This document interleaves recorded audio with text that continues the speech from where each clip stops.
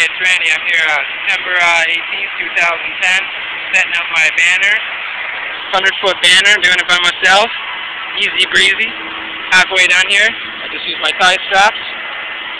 And then I'm heading down, doing the field. It's hot in here, but it's beautiful. I love it.